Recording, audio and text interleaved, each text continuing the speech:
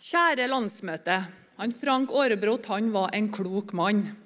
Og Rett før stortingsvalget sa han, og jeg skal ikke ta det på bergensk Det må bli slutt på denne galskapen som kalles New Public Management.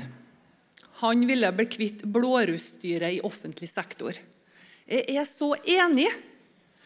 Helseforetakmodellen oppleves som blårusstyret.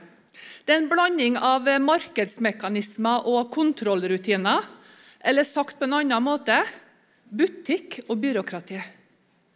Vi i Arbeiderpartiet vil ha gode og likeverdige helsetjenester i hele landet. Men hva ser vi? Jo, en kraftig sentralisering av viktige helsetjenester. Tilbake står bl.a. gravide som føler seg utrygge fordi det er timevis til nærmeste fødeavdeling. Styret i Helse og Møre og Romsdal vedtok nylig å legge ned fødeavdelinga Kristiansund. Døgntilbud for psykisk syke, privatisere renholdet på sykehusene, og i neste omgang er vi redd gode rehabiliteringsinstitusjoner ryker. Folk er frustrert og forbanna.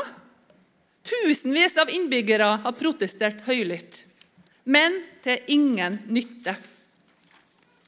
Folk opplever det grunnleggende udemokratisk at det er styrene i helseforetakene som skal avgjøre hva slags helsetilbud vi har. Et styre som ikke trenger å stå politisk ansvarlig overfor folket.